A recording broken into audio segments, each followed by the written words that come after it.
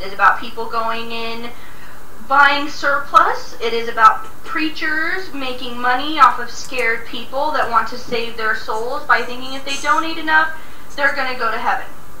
Alright, doomsday prophecies are about making money and about controlling people. Okay? Now, does this mean that we're not going to have an evolution? No. I imagine the human race will have an evolution. And to some, it might be the end of the world as we know it. Okay? As we know it. That's the key right there. Not that the world isn't going to end, but it's going to end as we know it. Okay? It's going to change. It's going to evolve. Society will be different. Um, thought process will be different. We might have different technologies, or for all we know, we might not have any technologies at all. Okay? I don't think we're going to be having a meteor shower that's going to come down and it's going to be like, oh my god. I don't think that's going to happen. Okay, the last time that happened was a really, really, really, really long time ago. It's what brought upon the Ice Age. now, even recently, science has been debating whether or not it was actually the meteor that caused the Ice Age, or if it was a shift in the polar magnetic fields. Okay? So even that is debatable. They're actually debating based on archaeological discoveries that more than likely what happened was the poles shifted. North became south and south became north. And this is actually what caused the Ice Age. Mainly because when the Ice Age happened, that was also the same time that the continents drifted apart. At one point, all the continents were connected as one large landmass. Well, now they're not. And this also happened around the same time of the Ice Age. And science says that the only reason that would happen is by polar shifts, by magnetic shifts, okay? So they think that the asteroid that hit was devastating, yes, but not the actual reason of the Ice Age. Okay? So if you take that into consideration as well, okay, and with our modern technology of what would we would be able to survive, okay, because it has been proven that man has the technology right now to be able to have a completely underground society, okay? So first off, even if it was a, as they say, extinction level event, which it probably wouldn't be, we would be able to survive underground. Okay, so man would still be alive. Alright? So, it's because I do research and I'm intelligent and I don't just talk a bunch of bullshit. You know, I like to back up what I say and be knowledgeable. Okay? so, we then start looking at doomsday or Armageddon on a spiritual level. So then people start saying that, oh, God is going to cause Armageddon and it's going to be like Noah and the ark, or it's going to be an ascension of humankind, or aliens are going to come down and get us. I'm sorry, but these things have been being said since the 70s, the 60s, the 50s, the 40s, okay? So, all of these things are possible. This is true. This is true. All these things are possible. But for me, based on everything that I've seen, everything that I've read, I honestly believe it's going to be more of a change of society, the way that we think, spiritual abilities becoming more recognized, becoming more accepted and whatnot. Personally, for me, that's what I believe. I believe we're going to start completely thinking differently.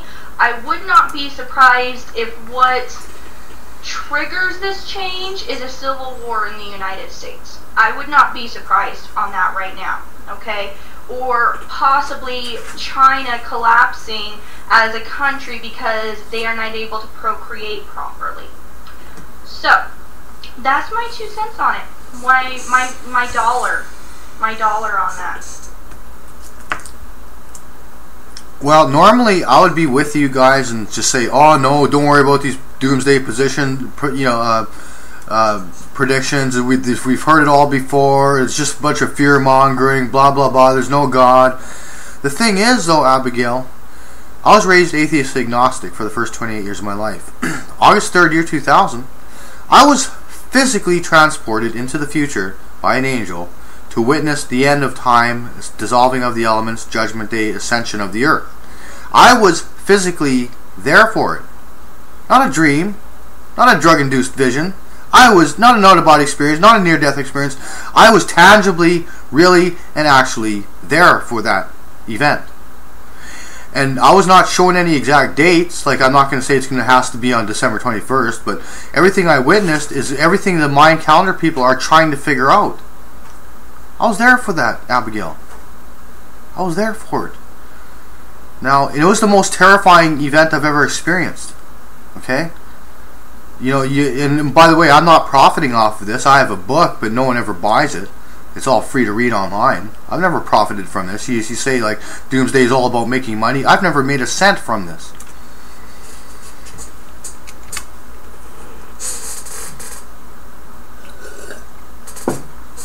Daniel, I wasn't specifically saying you, and I don't doubt your experience as I wasn't there, and I do know those types of things are possible.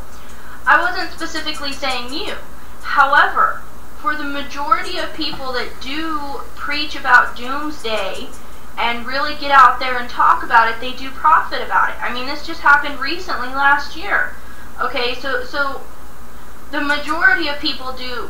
Okay, whether it's the grocery stores, whether it's videos online or something.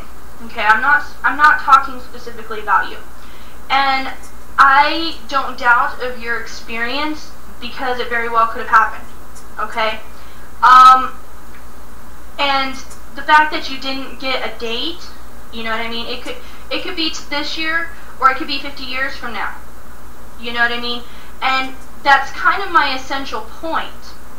And with what you saw with time ending, the unraveling of time. Now, for me personally,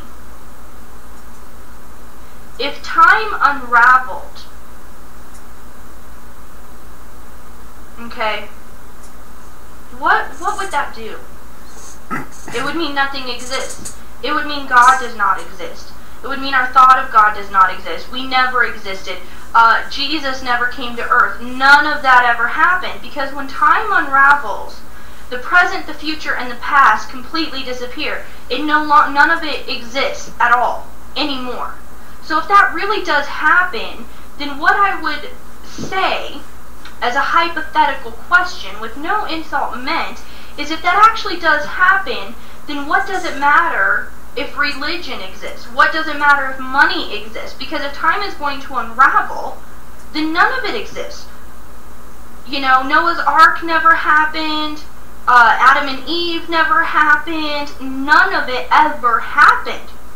So then there's no point to it all. Do you see what I'm saying?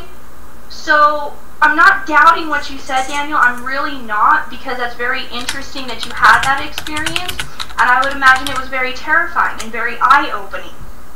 I really would. Um, but if time unravels, then we will have never learned anything. Because our spirits are connected to time. Time is everything. Time is now, time is present, time is past, time is parallel, time is up, time is down. Time is everything. So then our spirits never existed. We our spirits were never created.